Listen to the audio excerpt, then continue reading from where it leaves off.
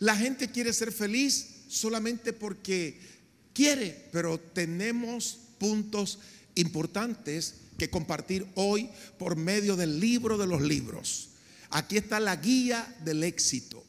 La gente dice, pero yo quiero tener éxito en mi familia, que mi familia sea una empresa de éxito, porque la primera empresa es la familia.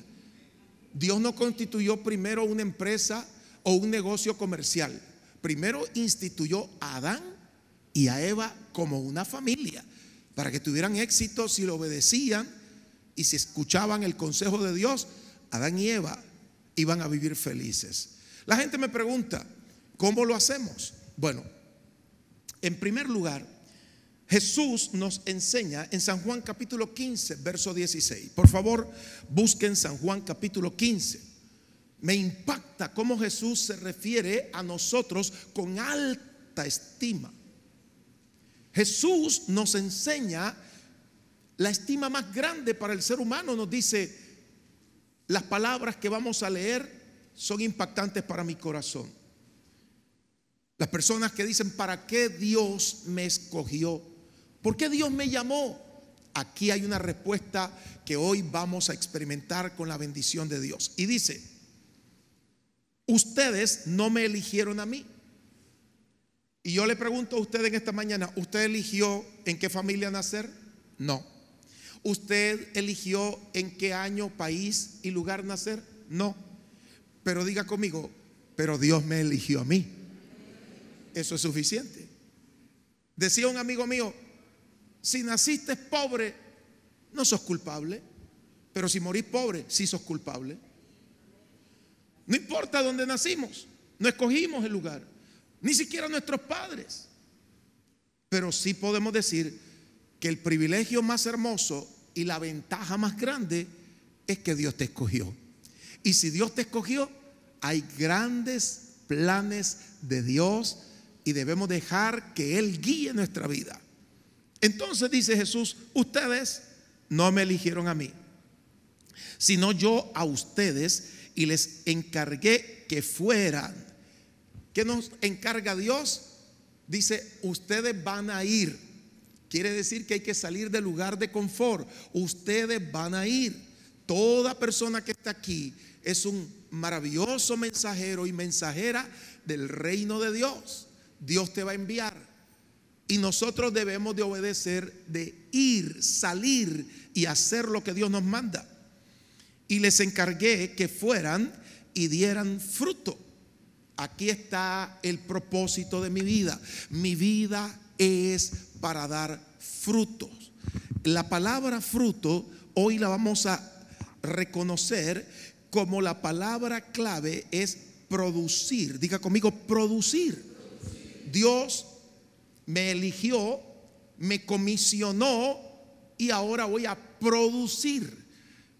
Entonces, observemos claramente que Dios nos está enseñando el punto clave y mi deseo es que su fruto dure, lo que usted produzca dure, lo que usted haga siga adelante y pueda continuar por mucho tiempo, dure.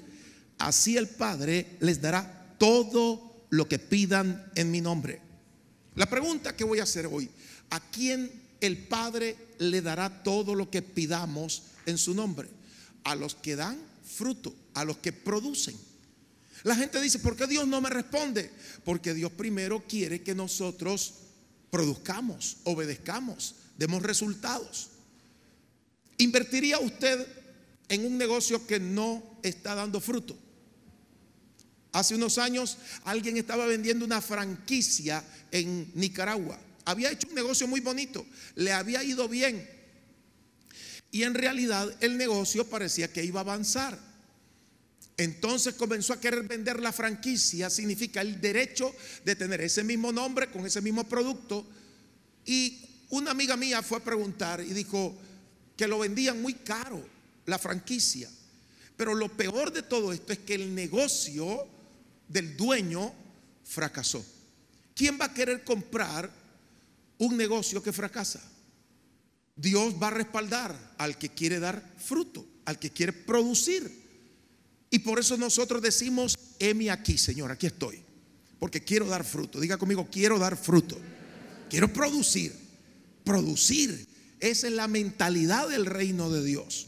Por ejemplo, ¿qué hace una empresa que sea exitosa? Hoy estamos oyendo sobre emprendedores y personas que quieren avanzar en la vida. Observe los puntos de una empresa que quiere ser exitosa. Número uno, perseguir una misión. Número dos, enfocarse en los clientes. Continúo, emplear un gran equipo de gestión. Siguiente, retener el talento de los empleados. Otra vez, continúa, mantener registros financieros detallados. Otro punto es continuar innovando. Subsiguiente, perseguir metas a largo plazo. Y el punto final de una empresa exitosa es adaptarse a la nueva tecnología. Una persona que quiere tener éxito comercial o éxito empresarial debe de tomar en cuenta o en común estos puntos que son vitales.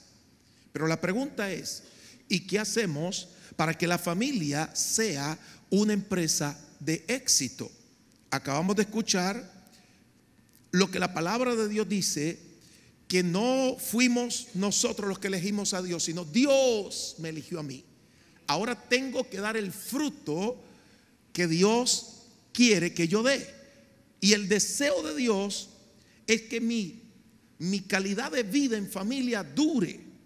Observe, y quiero poner tres ejemplos que han resultado en mi vida. Tres ejemplos que voy a compartir con ustedes. Y tres ejemplos que son muy genéricos que le van a servir no solo en su familia, le van a servir en su negocio y le van a servir en una calidad de vida. Hace muchos años yo estaba pensando en triunfar. Era muy joven, pero no sabía en qué triunfar. La palabra triunfo significa un buen desarrollo y obtener buenos resultados, contrario al fracaso. Pero me di cuenta cuando observé a algunas personas que comenzaban triunfando y terminaban fracasando. Y me pregunté, ¿por qué triunfan? Y también me pregunté, ¿por qué fracasan? Siempre es bueno saber las causas de los triunfos, pero también de los fracasos. Y ahí fue que le pedí a Dios que me ayudara. Una de las cosas por las cuales Salomón, el que está en la Biblia como el hombre más sabio después de Cristo, desarrolló esa calidad de vida y de éxito fue porque le dijo, Señor, guíame. Salomón había visto que reyes más poderosos, reinos más grandes, habían caído en la derrota. Ahora él le pedía a Dios que sabiduría. Dame sabiduría para poder estar delante de ti, saber gobernar. Qué interesante que Salomón le pidió sabiduría, porque el principio de la sabiduría es el respeto, el honor a Dios. Nuestra familia debe de ser una empresa de éxito. Entonces le dije, Señor, ayúdame a poder vivir una vida que dé resultados y que pueda yo agradarte dando mucho fruto. Y lo primero que entendí es la calidad de vida. Diga conmigo calidad de vida. Por ejemplo, cuando compramos un producto, hay productos que son de calidad. Tiene un alto precio, ¿sí o no? Y hay unos que son, como decía alguien, baratieri. ¿Ya me entienden? Hay algunos productos que no te van a ayudar mucho, no te van a servir mucho, solo ocasionalmente. Pero otros son de gran calidad. La calidad se comprueba. La empresa que tiene productos de calidad goza de la garantía de su producto y obtiene un buen lugar. La gente dice, si ese producto es de esa marca, es muy bueno. De igual manera entendí que estos puntos que voy a hablar tienen que ver con garantizar un hogar que produzca, que dé fruto, una familia que prospere. El primero es integridad. Integridad es rectitud y honradez en la conducta y en el comportamiento. Ha observado que la persona que es íntegra es alguien en quien se puede confiar. ¿Quién es íntegro? Alguien en quien se puede confiar. Dígalo conmigo, alguien en quien se puede confiar. Le preguntaron a una persona la referencia acerca de otra. Le dijeron, ¿y cómo es esa persona fulano de tal? Yo le quiero contratar para que sea trabajador mío, pero quiero tus referencias. Y le dice el que lo conocía, bueno, esa persona es muy trabajadora.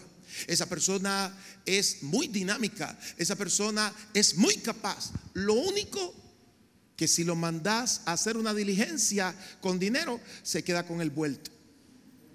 ¿Conoce usted personas así? Ese es el peligro. La falta de integridad le cierra las puertas a las personas, porque todos buscamos a alguien que sea confiable. Aquí observamos que la integridad en la familia la producen los padres de familia. Hace muchos años cuando mis hijos estaban pequeños, se me acercó el hijo menor y me dijo, papi, tengo miedo. Entonces yo lo abracé y le dije, aquí estoy yo para ayudarte. Y siempre le dije a mis tres hijos, con la fe puesta en Dios, nunca me voy a ir de ustedes. Y siempre quedé viendo a mi esposa y le dije, Dios nos va a ayudar a seguir adelante y yo voy a estar siempre con vos. La integridad nos permite tener seguridad. Las familias que viven inseguras no van a sentir tranquilidad ni reposo. Por lo tanto, una vida íntegra, pues es una vida que garantiza seguridad. Observe lo que está hablando la palabra del Señor acerca de dar buen fruto.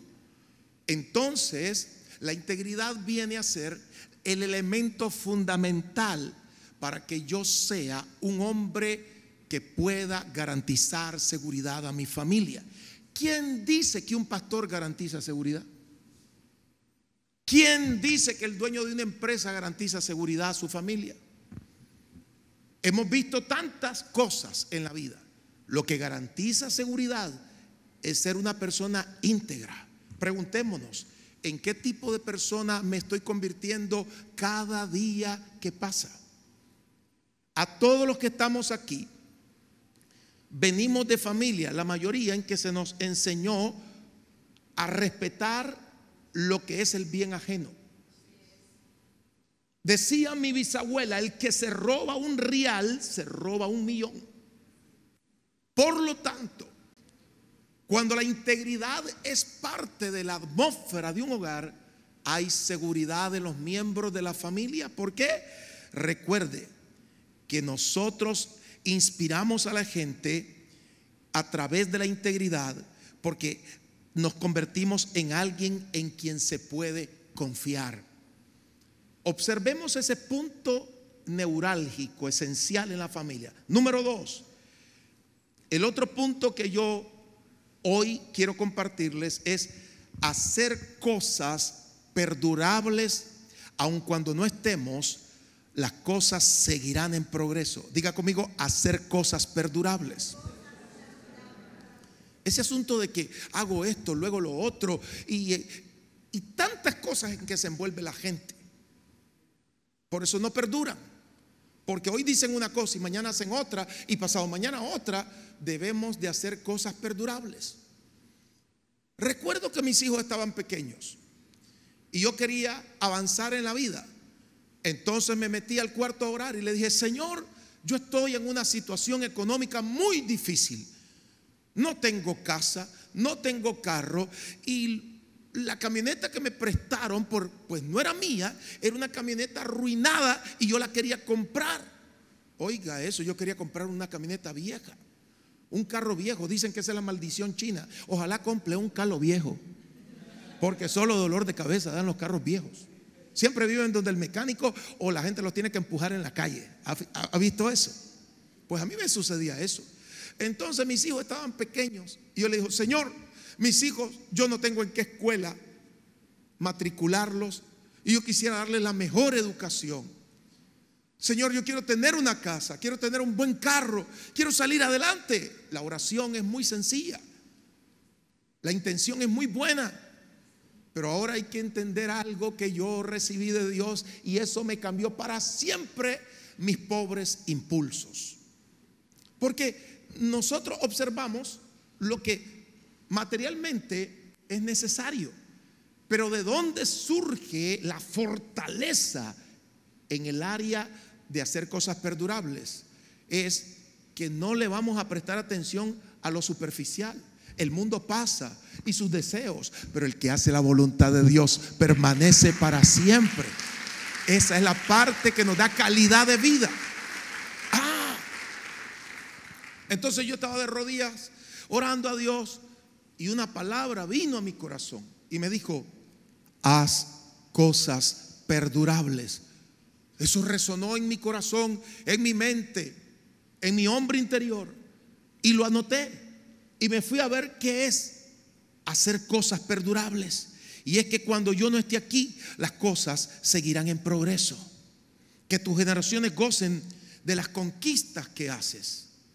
Que cuando ya no podamos encontrarnos en este lugar, los que tomen la estafeta, la antorcha, sigan conquistando también. Esa es la forma en que debemos de actuar claramente. Entonces me di cuenta que si debía hacer cosas perdurables, debía de pensar en cada una de ellas. Y me puse a pensar en la vida espiritual.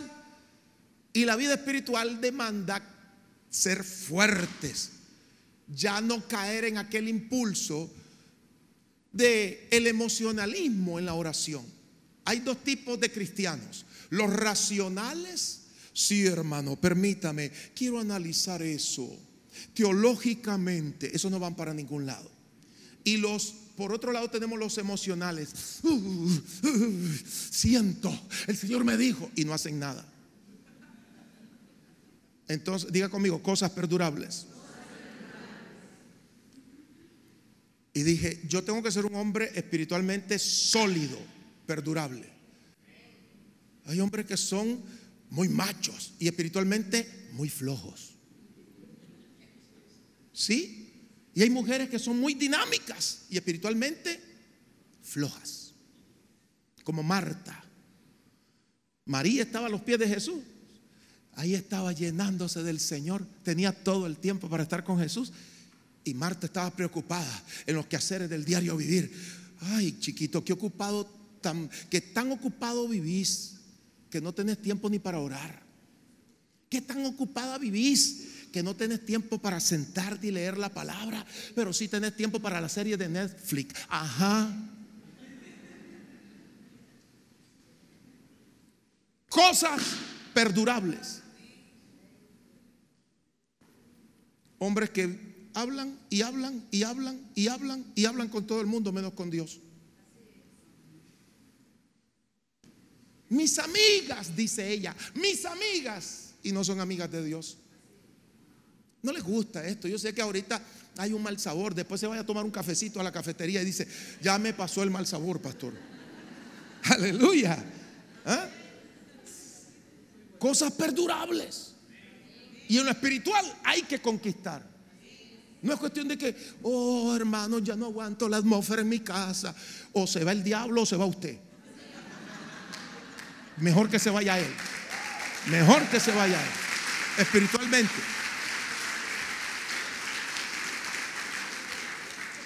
Estoy preocupado. Dice alguien, estoy preocupado en esta casa. Servime el arroz y los frijoles. Ese género no sale con arroz y frijoles. Ese género sale con ayuno y oración. Alguien tiene que levantarse por su casa. Alguien que no tema. Alguien que ore. Alguien que busque a Dios con todo el alma. Alguien tiene que interceder por esa, por esa vida, por esa casa. Si no la casa se vuelve vulnerable, entonces el hombre espiritual se levanta en el nombre de Jesús. Cosas perdurables. Número dos, dentro de lo perdurable, de hacer cosas perdurables, primero dije lo espiritual, que es una vida abundante del espíritu en forma constante. Número dos, en la parte emocional, madurez para ser amigo esposo y padre. Y disfrutar la vida en familia. Pregunto, ¿disfruta usted a su familia? Por ahí se escuchó uno decir, me, me, me, me, me. ¿Disfruta usted a su familia? Dice la Biblia, gózate con la mujer de tu juventud. No dice, aflígete con la mujer de tu juventud. Dice, gózate. Alégrense los justos. Yo tengo que alegrarme con mi esposa, alegrarme con mis hijos, disfrutar a mi familia. La gente cree que para disfrutar se necesita tener un estatus económico grande. Claro que hay que tenerlo, pero escuche esto, el deleite sale del corazón. El deleite sale del corazón. Por ejemplo, ¿qué provoca, qué provoca el romance? La atracción. Cuando uno es romántico, atrae a su esposa. ¿Por qué? Porque al inicio, cuando uno se conoce con la persona que ama, debe de manejar firme esa convicción de que perdure esa parte romántica, esa parte bonita. Igual con los hijos, ser amigo de mis hijos. Yo tuve que cambiar muchas cosas. No me cerré. Dije, tengo que ser el mejor amigo de mis hijos. Tengo que ser el amigo de mi esposa. Claro, no es que voy a llegar a decirle, mucho gusto, ¿cómo estás, Yajaira? ¿Cómo te ha ido? No, yo tengo que amarla, pero también ser amigo de ella, compartir con ella tener tiempo para ella. ¿Mm? ¿Qué le parece eso? Hombres que tienen tiempo para sus amigos y no para su esposa. Y por eso usted la ve a la pobre esposa sola. Y le dice él, te compré esta pantalla de televisión. Y es que va a salir él en la pantalla de televisión para que ella lo esté viendo. Necesitamos calidad de vida. Necesitamos calidad de vida. Entonces lo segundo es la parte de madurez. Lo tercero es lo físico, hábitos alimenticios, actitud para el ejercicio, porque en la parte de hacer cosas perdurables tiene que ver la forma en que nos vamos a alimentar. Si te seguís alimentando como lo estás haciendo, ¿cuántos años más vas a durar así? Vivo. Mucha gente no va a durar viva. Le hace el bolsillo a las empresas de gaseosas y su cuerpo se está destruyendo. ¿Y sabe lo que dicen esas personas? Sí, sí, yo sé, pastor, que eso es malo, yo lo sé. Yo le estoy pidiendo a Dios, yo le estoy pidiendo a Dios que Él me ayude. No, no le estoy pidiendo a Dios. Amárrate la boca. ¿Sí? Dios no va a hacer lo que yo tengo que hacer. Dios no le dijo a Adán, no te comas eso. El día que comas, te mueres. Y hay gente que come como quien dice, me quiero morir. El médico prohíbe, la salud tiene que ver mucho con la alimentación. Tu comida es tu medicina. Lo que uno come es lo que le va a traer beneficios a su cuerpo. Hay gente que cuando mira las lechugas y las ensaladas es como cuando Drácula ve la cruz. Es tiempo de renovar la salud. ¿Sabe lo que sucedía en Nicaragua hace muchos años? A ver, lo que tenemos más de 50, 60 o más años. En Nicaragua, Nicaragua era conocida por la, el país de los refrescos naturales pozol con leche, naranja con zanahoria, remolacha con limón. Y ahora la gente se queda viendo y no pasa de la misma gaseosa que lo está destruyendo en la mañana, en la tarde y en la noche tomando esa bebida destructiva que le da osteosporosis. Eh, ¿Saben para qué es buena la gaseosa? Para limpiar los baños. Y yo sé que hoy usted está diciendo, el Señor me está hablando, pero actúe por favor. Vaya, cómprese una libra de pinolío, de cereal, de avena, de frutas, exprímalas. No le ande, no, le ande haciendo caso a la propaganda, 100% naturalmente artificial. Eso es lo que dice la propaganda. Pero usted se levanta y dice, voy a renovar mi salud. No voy a comer a esa hora que es muy noche. Aunque aquí hay muchachos que comen mucho en la noche. ¿Verdad que sí? Aquí hay jóvenes que son TNA, Trituradora Nacional de Alimentos. Pero tenemos que comenzar a hacer ejercicio. ¿Oyeron, hermana? ¿Oyeron? Hacer ejercicio. Alimentarnos saludablemente. Estamos hablando de hacer cosas perdurables. Diga conmigo, cosas perdurables. Y en la parte económica, buena administración para tener una economía sólida. No es cuánto ganas, es cuánto gastas. La gente dice, quisiera ganar más. Y entre más ganan, más gasta. Y nunca les da abasto el sueldo o el dinero. Es la forma sabia de administrar los recursos económicos para multiplicarlos. Esa es la parte importante. La multiplicación de tu dinero es sumamente vital. Pero hay gente que ni siquiera ha tomado el dinero y ya está pensando en qué gastarlo en vez de multiplicarlo. La mentalidad de pobreza es gastar, gastar, gastar. La, la mentalidad de riqueza es multiplicar. Eso lo vamos a ver en un momento. En la parte económica, lo que hay que hacer es libre de codicia. ¿Por qué la gente llega a un exceso tan grande como cuando entra en una ola que ya lo está arrastrando? La codicia es peligrosa. El deseo de superación es importante, totalmente diferente a la codicia. Las personas que quieren superarse tienen que mirar y proyectarse inspirado en otros. Pero la codicia es querer tener lo que otro tiene a cualquier costa, a cualquier forma. El plan siguiente, y con esto concluyo, número tres, es el plan de desarrollo personal. De aquí a 10 años, ¿dónde vamos a estar? ¿Qué vamos a estar haciendo? Porque las personas dicen, cambiemos de lugar y entonces va a ser mejor. Todo dependerá. Por ejemplo, la familia define objetivos y metas. Se tienen que reunir. Dice la Biblia, encomienda a Jehová tu camino. ¿Qué tenemos que hacer las familias? Orar por la agenda de peticiones que tenemos. Hay proyectos, pongamos esos proyectos todos los días en oración para que nuestra familia triunfe. Un punto importante es tomar estrategias que permitan alcanzar esas metas.